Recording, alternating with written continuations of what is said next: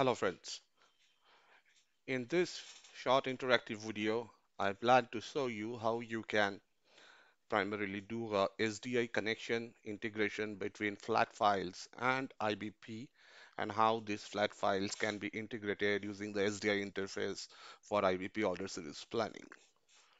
To start off with, since this is a demo, what I'll be doing is I will be configuring my own laptop as the file adapter server so that uh, from this server itself I can primarily connect to IBP and show you how the entire flow works. Primarily, in order to do a complete end-to-end -end setup for SDI integration for order-based planning, you primarily need few files and few folders. So what you see here is the file that I am highlighting here. This is called the DP agent or the DP provisioning server file. This is a setup file available for Windows, Linux based servers both. This can be downloaded from the SAP marketplace, but in order to download, you need to have the proper authorization, which generally a basis or a security person in an organization generally have this kind of authorization, and you can get this exe installation downloaded from them. Once you download this, you have to unextract and there will be a exe file that will be in a you need to run it in a self-executable mode with next next with uh, interactive uh, Windows setup. So it's pretty easy there. Apart from this, what you need is you need this file which is called Open API 2108 inbound outbound sample. So this file is primarily available in the help portal itself. So if I take you there,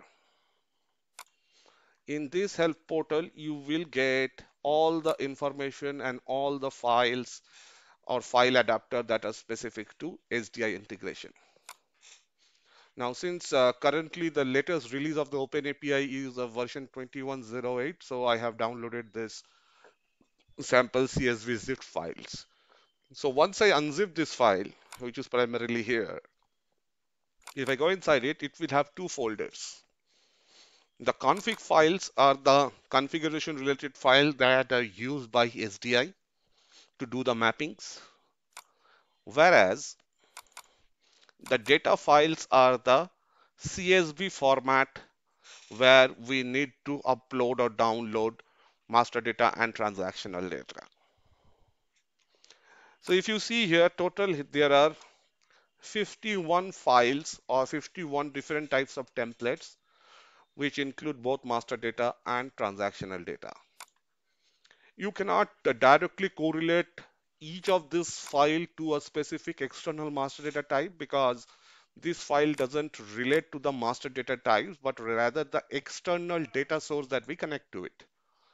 So whatever external source like SMD Malo, SMT Mara, whatever we can have that, based on those external resources, these files have been developed. So I will be showing you later how we can or where we can use these folders and files. Now, after I have installed the DP provisioning agent, obviously the Windows version, once the installation is happened, you will get the SAP HANA data provisioning agent configuration menu over here. You need to remember that you need to always run it as an administrator because if in case your account present account doesn't have all the required privileges the provisioning server might not run. Also one more thing that is very very specific for this setup since I'm setting it on my laptop that is the reason.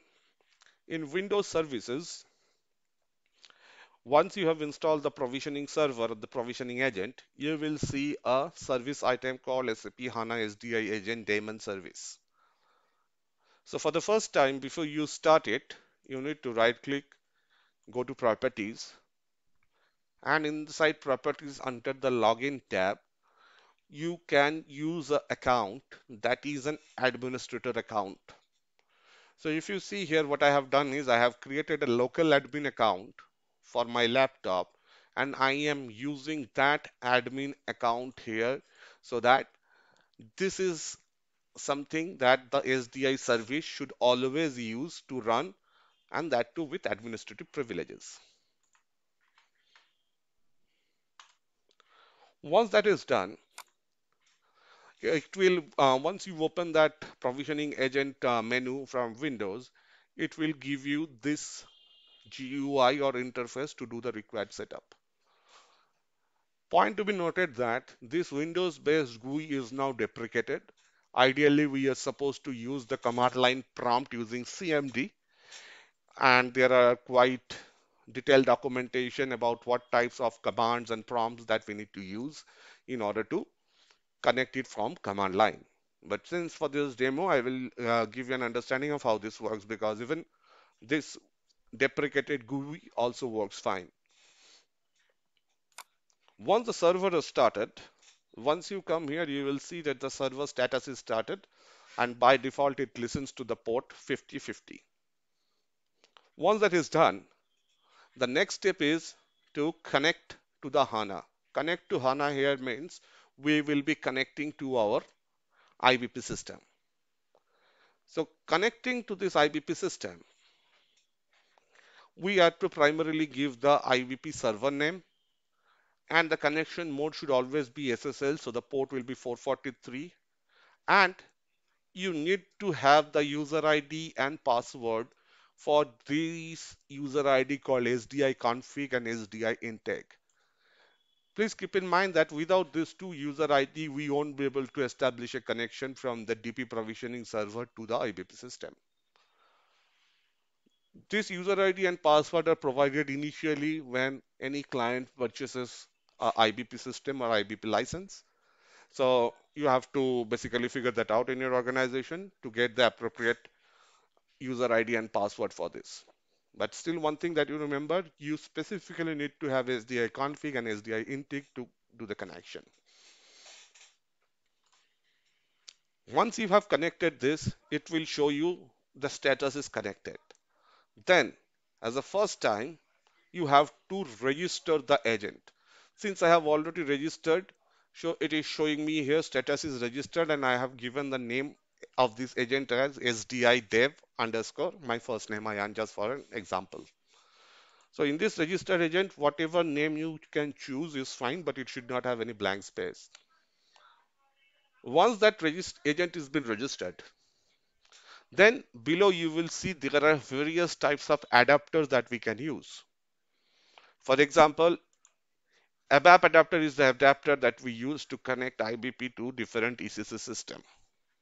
Similarly, we have BW adapters and there are n numbers of adapters available, but as of now, I'll be focusing on the file adapters.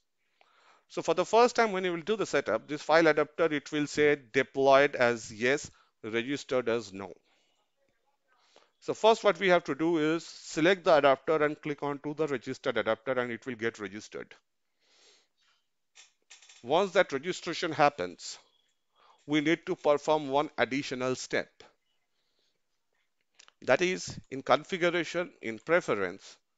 If you see, I will have a adapter framework and list of adapters here. Here in the adapter preference under file adapter, I am specifying the root directory and the file format directory for the flat files. So coming back to where I was, initially when I created this, I have downloaded this templates which contains these two folder config files and data files. And by default, when we install the CPI, sorry, when we install the DP provisioning server, by default it gets installed in this directory path. So here, if you see, inside this DP provisioning agent folder, I have simply placed these two folders, data files and config files. Data files contain the flat file templates, whereas the config file contains the XMLs and the Open API codes for the MRP type, MRP controller, different types of objects related to master data and transactional data. So this is the same path I am mentioning here where the root directory is nothing but this provisioning agent and the file format root directory is the root directory of the data files. Once I specify this, I select apply and I do a OK.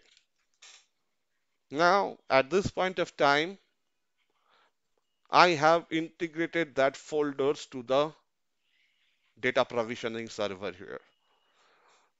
Now, we will have to go ahead and do this setup in IBP system and how to do that, that's what I'm going to show you. So at first, in the IBP system, we need to come to the configure remote source. Here, we have to add a new remote source. So once you click add, this uh, information will pop up wherein you have to name the SDI resource. Wherein let's say I'm just naming is at flat files. Then we have to select the SDI adapter name. So we have as of now registered two adapters, ABAP and file. The file adapter is registered here, yes.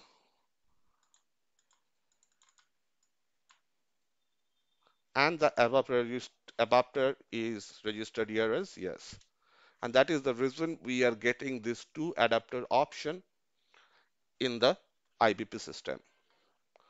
Since this is the file adapter, I will be selecting the file adapter and then I will select the SDI agent. So the name of my SDI agent is this, what I have given while registering this agent. So I will select that same. And in the logical system, I will give it uh, whatever logical system I want, I can give. So I will give SDI source. Sorry for this mistake. SDI